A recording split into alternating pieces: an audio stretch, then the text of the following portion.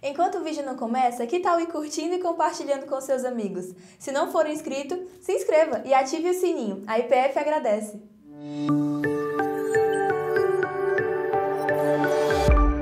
Gostaria de convidá-los a abrir a sua Bíblia comigo.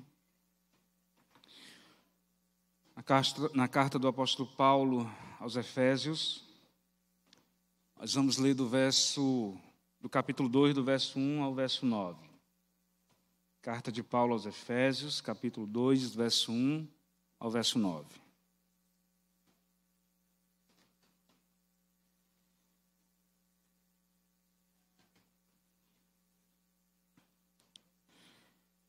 A epígrafe desse texto, em algumas traduções ou Bíblias, nos diz assim: do pecado para a salvação pela graça. Aqueles que podem se colocar de pé, irmãos.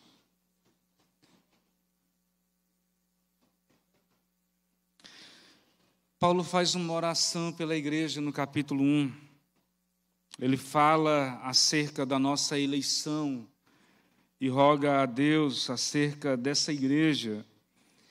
E no capítulo 2, nós vamos ter a síntese daquilo que Deus fez pelos Efésios e também por todos nós.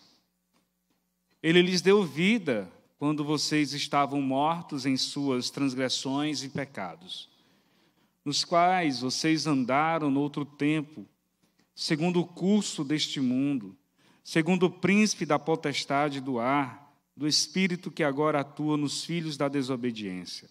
Entre eles, entre eles também nós todos andamos no passado, segundo as inclinações da nossa carne, fazendo a vontade da carne e dos pensamentos, e éramos, por natureza, filhos da ira, como também os demais. Mas Deus, sendo rico em misericórdia, por causa do, do grande amor com que nos amou, e estando nós mortos em nossas transgressões, nos deu vida juntamente com Cristo, pela graça vocês são salvos. E juntamente com Ele nos ressuscitou e com ele nos fez assentar nas regiões celestiais em Cristo Jesus. Deus fez isso para mostrar nos tempos vindouros suprema riqueza da sua graça em bondade para conosco em Cristo Jesus.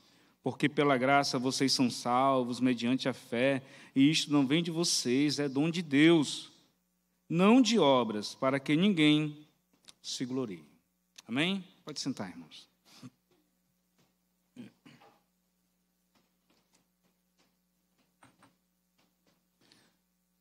Amanhã, dia 31, nós comemoramos os 505 anos da Reforma Protestante. Durante algum tempo na igreja cristã, essa data ela era lembrada nos púlpitos, nas pregações, nas igrejas. Trazia-se à mente as palavras de Cristo e a importância desta doutrina para a igreja cristã. No decorrer do tempo, a reforma protestante ela foi gradualmente sendo esquecida, tirada das histórias, tirada das cidades aonde de forma muito contundente, a reforma foi muito importante. Por exemplo, a reforma nos Países Baixos, a reforma com o próprio Lutero. Os países, principalmente dos Estados Unidos, passaram a esquecer essa data tão importante para a nossa fé cristã. Com essa data do dia 31, nós temos por parte de alguns países a comemoração do Halloween. Inclusive, ontem eu estava à noite, depois de um dia bem complicado, o irmão do Abraão resolveu ultimamente dar problemas. O irmão do Abraão, Abraão é o meu notebook, o irmão dele é o carro. E ultimamente o irmão do Abraão tem dado problemas. E nós chegamos ontem para resolver um problema ali no shopping, é, Norte Shopping. E eu fiquei espantado com a quantidade de jovens e adolescentes vestidos de preto, com sangue, né? aquela cor do sangue saindo aqui do lado da boca. Todo mundo vestido de preto, parecia uma coisa de filme de terror. Meninas, inclusive apenas de calcinha, caminhando com roupas pretas no meio do shopping, atravessando a rua, uma coisa sem pé e sem cabeça, fazendo alusão ao Halloween. As escolas, inclusive, pedem para que no dia os filhos sejam enviados com roupas de bruxa, de bruxos, de tantas outras coisas porque é mais importante essa comemoração, é muito mais salutar para o pai vestir o filho com a ideia da cultura atual, com esse sentimento de que todo mundo deve se unir àquilo que traz felicidade. As escolas brasileiras, elas aderiram a esse tipo de festa. Não se fala mais nas escolas a respeito da nossa fé cristã. Não se lembra ou não se traz a lembrança, a não ser em alguns momentos nos livros de história e ainda uma, uma palavra mal contada, uma história michuruca acerca da reforma protestante. As escolas esqueceram, a sociedade deixou deixou de lado, colocou-se uma festa pagã para que ninguém mais se lembrasse da importância da reforma protestante. Mas a sociedade fazer isso é completamente compreensível. Porque a cultura atual do pós-modernismo luta, milita, batalha contra Deus e tudo que é de Deus. O Salmo de número 2 já nos diz isso do verso 1 ao verso 3. As nações estão em inimizade contra Deus. O verso 3 do, do Salmo 2 diz, inclusive, que eles querem romper o laço, não querem qualquer compromisso, não querem qualquer aproximação, qualquer ligação, qualquer tipo, por mínimo que seja, de uma ligação com alguém que seja cristão e muito menos com Cristo Jesus. Meus amados irmãos, nós não podemos esquecer a importância da reforma protestante para nós. Por isso, é importante que no mês de outubro, as igrejas reformadas, as igrejas da reforma, oriundas da reforma, durante todo o mês de outubro, ela, elas possam estar intrinsecamente ligadas aos temas da reforma protestante. Porque é salutar, porque é doutrinário, porque é saudável, é importante e muito importante falar sobre as bases da nossa fé. Hoje, diante do texto exposto aqui, verso 1 ao verso 9 da carta do apóstolo Paulo aos Efésios, falando do pecado para a salvação pela graça de nosso Senhor e Salvador Jesus Cristo, olhando para todos esses versículos, nós vemos aqui uma das cinco solas, sola gratia. O homem é salvo somente pela graça de nosso Senhor e Salvador Jesus Cristo. Sola gratia não é outra coisa senão o pecador não tem nenhum direito de reivindicar de Deus, que Deus não lhes deve nada, senão o castigo por seus pecados, e que ele e que se ele Deus salva, é porque agradou-lhe salvar o homem.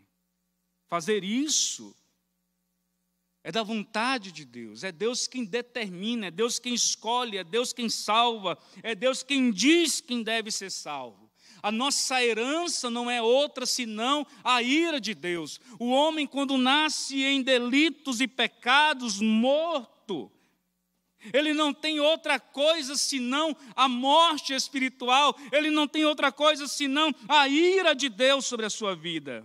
O homem não deve reivindicar nada de Deus porque todos nós se salvos somos, somos salvos pela graça de Deus. Lutero dizia que não existe vontade neutra, livre para decidir o que fazer por si mesmo. Inclusive, o livre-arbítrio foi um grande tema, um tema de discussão entre teólogos. Agostinho contra Pelágio. Depois vem Armínio contra Lutero. Depois vem os semi-pelagianos, que é a doutrina que se firmou, inclusive na igreja ou em algumas igrejas de linha pentecostal e neopentecostal, aonde afirma-se que o homem coopera com Deus para a salvação. Inclusive Pelágio dizia que o homem nem nasce debaixo da ira de Deus. Ele afirmava que o homem só é influenciado pelo pecado no decorrer da sua vida. Que ele nasce bom, que ele nasce livre. E aí nós temos em Agostinho a síntese do, da, da, da, doutrina da salvação pela graça e pela vontade de Deus e pela fé somente. E sabe o que é que me espanta, irmãos? Dentro da igreja, ainda há pessoas que acreditam que conseguem cooperar com a salvação. E ao afirmar, quer seja em palavras, quer seja em atitudes, quer seja numa expressão simples, achando que é uma expressão da sua fé, ela está dizendo que Deus não é poderoso o suficiente para salvar, escolher soberanamente quem quer que seja para a salvação. O homem não coopera com a salvação. Interessante é que ainda Lutero dizia algo fantástico.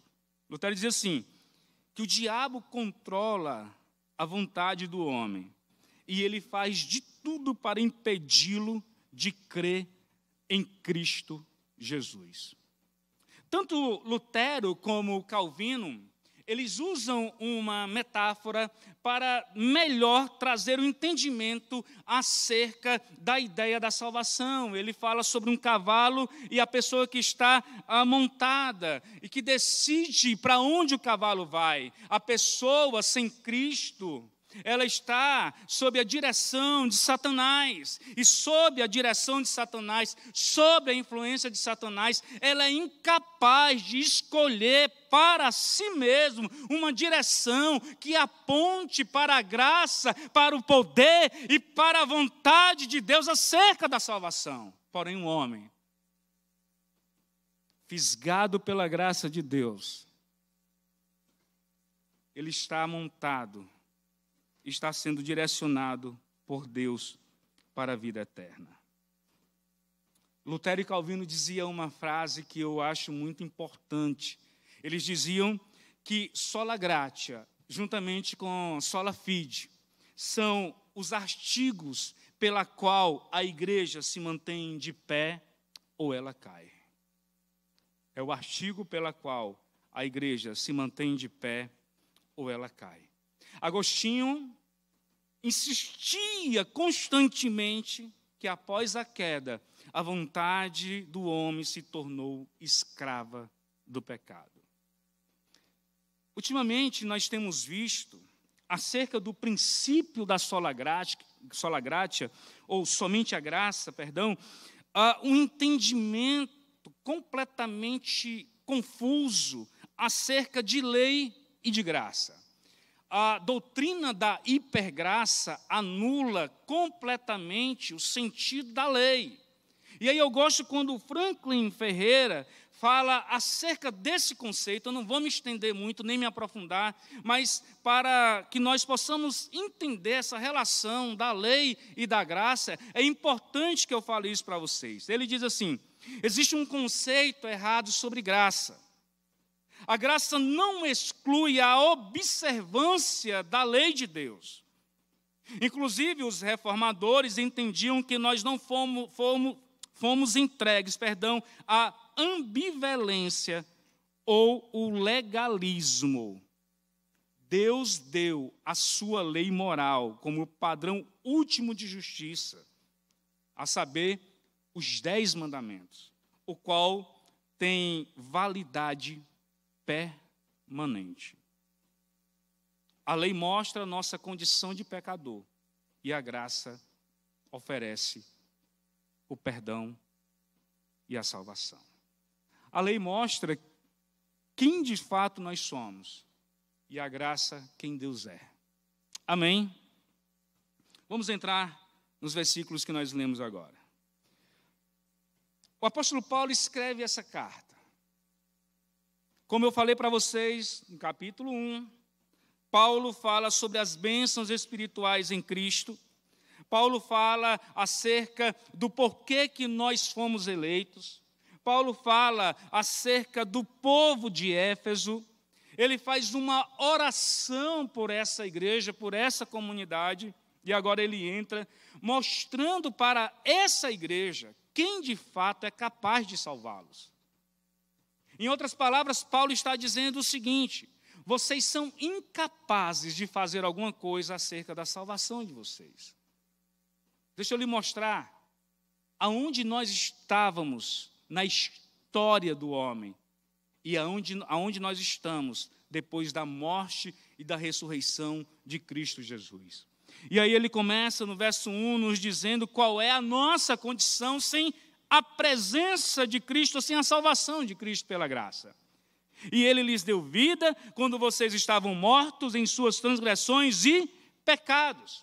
A condição do homem sem Cristo, sem a salvação, sem ação, sem o poder do Espírito Santo, não é outra senão morte espiritual. Aqui ele traz, ele, ele evoca Gênesis capítulo 3, quando o homem cai, e ao pecar, ele se torna escravo do pecado. Em Gênesis, nós temos exatamente essa, narra, essa, essa narração de que o homem morre em delito, ele morre, ele peca e ele está morto em delitos e pecado, ele transgride a lei de Deus. E aí, Paulo mostra qual é a nossa condição. E ele, de certa forma, está nos dizendo que se nós estamos mortos espiritualmente, nós não temos mais o livre-arbítrio. A nossa vontade é escrava do pecado. João Calvino escreveu algo e disse o seguinte: a Escritura testifica que o homem é escravo do pecado. Seu espírito está alienado de tal forma à justiça de Deus que nada concebe acerca de Deus e de sua vontade. Essa, irmãos, era a nossa condição. Nós estávamos no teatro da vida corrompidos, éramos um cadáver, nós estávamos mortos, e por causa dessa morte nós transgredimos constantemente a lei de Deus. Interessante é que o verso 1 diz assim: Vocês estão mortos em transgressões e pecados.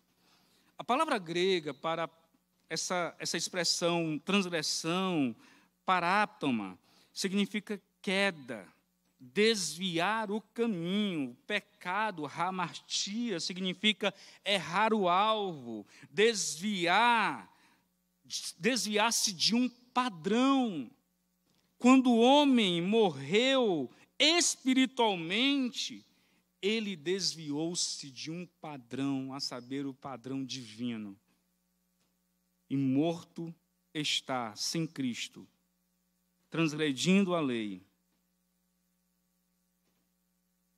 Alguns comentaristas dizem, dizem o seguinte: que tanto essa palavra transgressão como pecado, no original do grego, não descreve um ato definido do pecado, mas um estado de pecado do qual emanam ações pecaminosas. Veja, tudo que o homem faz morto em delitos e pecados não é outra coisa senão pecar, pecar e pecar. Mas, pastor, existem pessoas que não são crentes que são tão boas. não é por obras que o homem é salvo. Não é por atitudes boas que ele é salvo. É pela graça de nosso Senhor e Salvador Jesus Cristo. O homem sem Deus, ele está morto, não doente. Por esse motivo, ele necessita de ressurreição. E somente Deus, em Cristo Jesus, por meio do seu Espírito, é que consegue ressuscitar o homem para a vida eterna. Só assim o homem consegue nascer de novo. Depois, verso 2 e verso 3, Paulo faz questão de nos mostrar três conceitos importantes: o mundo, a carne e o diabo. Essa frase ela é de um pastor muito conhecido, inclusive, ele escreveu um livro, né, John Stott, o mundo, o mundo, a carne e o diabo. E ele também comenta acerca dessa carta aos Efésios. E aí eu fiz questão de colocar aqui como segundo ponto, porque uh, traz um entendimento mais claro, mais lógico acerca daquilo que Paulo está dizendo no verso 3 e no verso 4. No verso 4. Uh, a primeira coisa que nós temos que entender é que Paulo começa dizendo assim: entre eles também nós todos andamos no passado. Primeiro, antes de sermos salvos, todos nós andávamos segundo o curso deste mundo. Todos nós, todos nós, acompanhe comigo aí, segundo as inclinações da carne, fazendo a vontade da carne e dos pensamentos, e era por natureza o quê? Filhos da ira. E nós todos andávamos satisfazendo a vontade da nossa carne. Todos nós andávamos assim. O conceito de mundo não é criação, mas é um sistema falido que está alheio a Deus. Um sistema que domina e mantém as pessoas cativas, as pessoas escravas, presas. Ah, alguém já dizia que esse conceito de mundo falido que escraviza as pessoas tem a ver com a cultura pecaminosa que consegue deixar o homem preso dentro dela. Veja só, quando você consegue, quando você conversa com algumas pessoas e vai falar com elas acerca de cultura, acerca de mundo, ah, as pessoas que não são salvas, elas mantêm-se ah, presas a um padrão de cultura que elas acham ser o correto. A cosmovisão dela foi afetada por causa do pecado. A vida dela foi afetada por causa do pecado. Ela não consegue enxergar nada além disso. Veja quando você fala com alguém sobre marxismo cultural. Primeiro, algumas pessoas dizem que não existe marxismo cultural. Eu acho que você já deve ter ouvido falar sobre isso. Mas o marxismo cultural tem enganado, tem entrelaçado a mente e o coração de muita gente, e isso está intrinsecamente envolvido com a cultura. Não somente o marxismo cultural, mas tantas outras coisas. O diabo, como disse Calvino, é aquele que comanda os poderes espirituais Aí ele, ele continua nos informando acerca dessa ação do diabo na vida do descrente, do descrente. Ele diz assim: não se pode pronunciar uma condenação mais severa sobre a humanidade que ele nos deixa quando declara que somos escravos de Satanás e submissos à sua vontade. Ele, Satanás, só é poderoso em relação aos incrédulos. Veja, Calvino diz que não existe uma condenação mais severa para o homem do que esta, dele viver sob o comando de Satanás.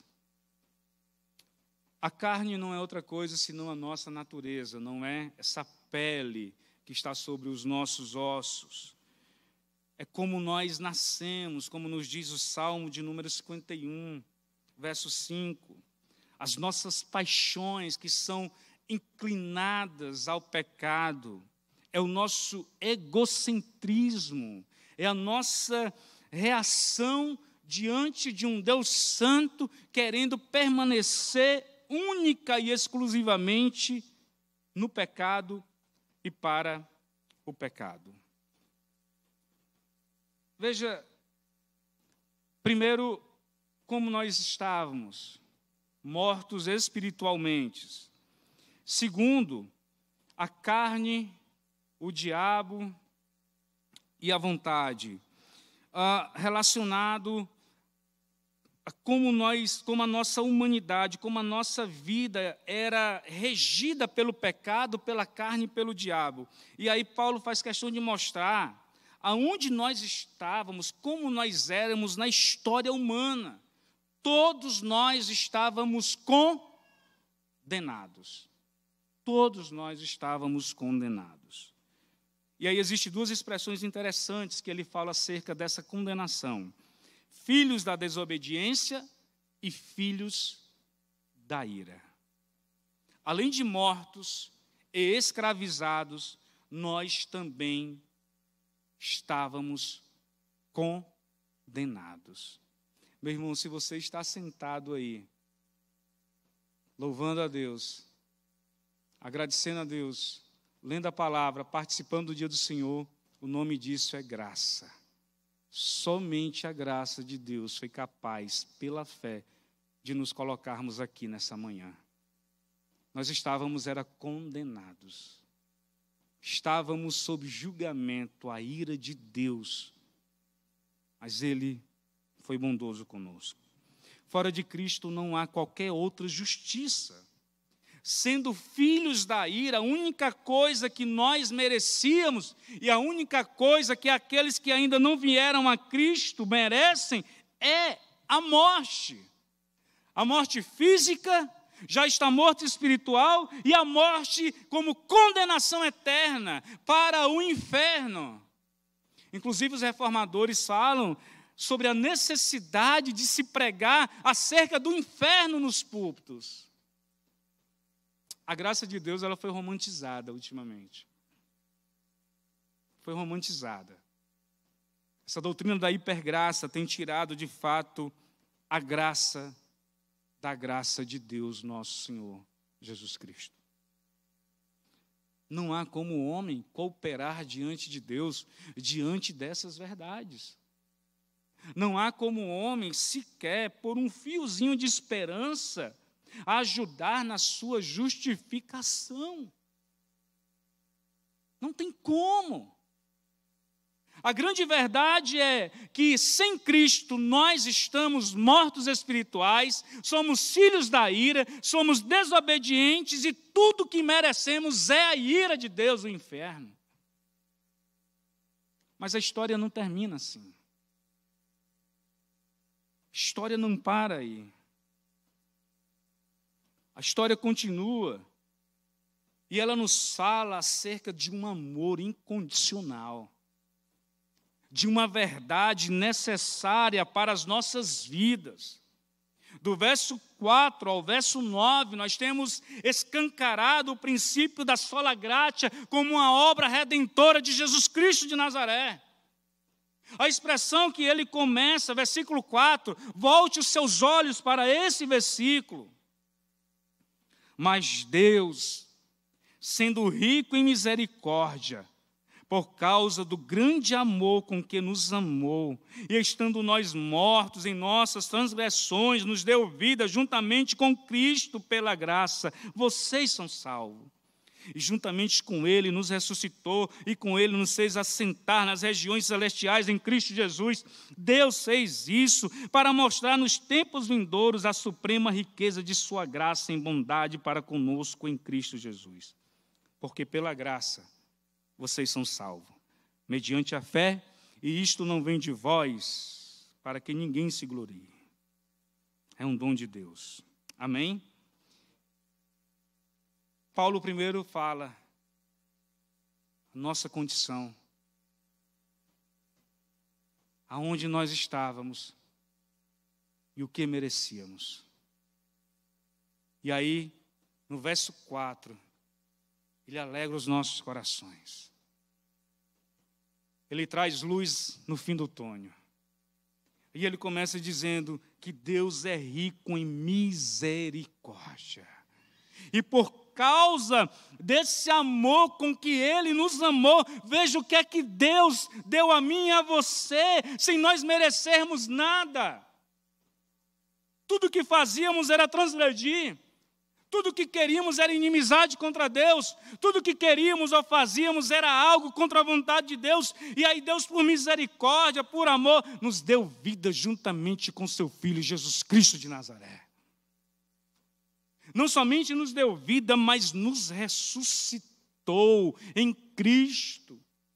Por isso a doutrina da ressurreição e a importância de falar de Cristo como aquele que primeiro ressuscitou. Porque a nossa ressurreição só faz sentido na ressurreição de Jesus Cristo de Nazaré.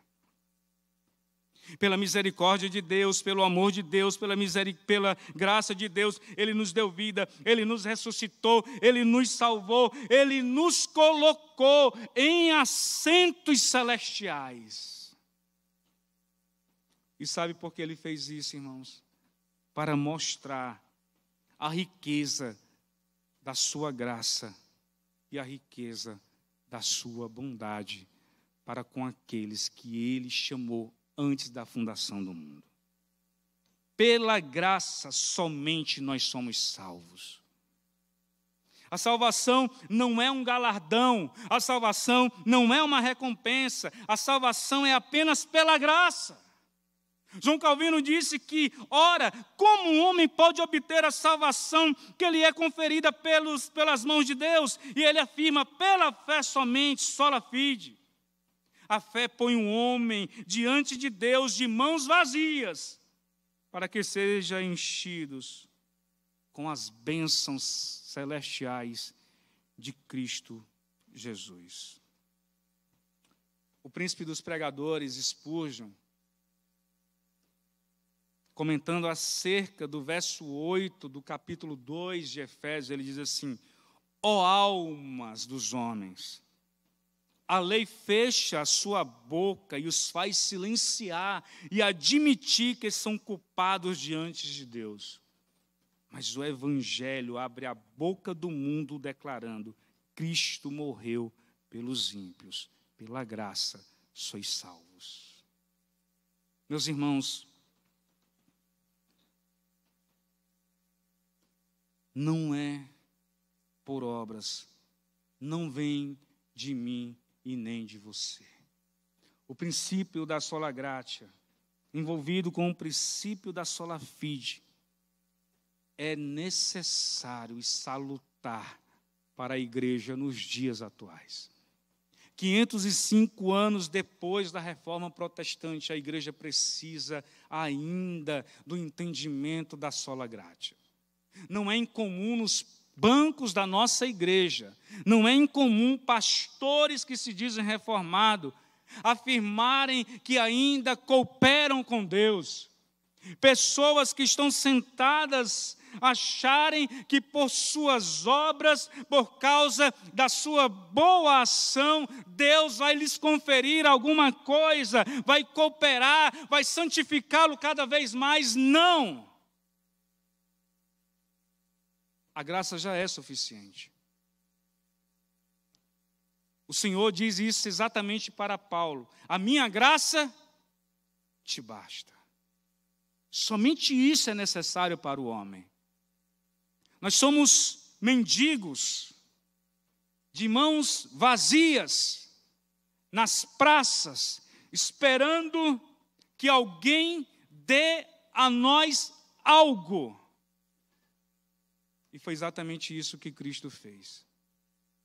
Nos encontrou na praça, pobres, desnudos, incapazes, sujos, fedorentos, e nos deu a salvação por meio de seu Filho, Jesus Cristo de Nazaré.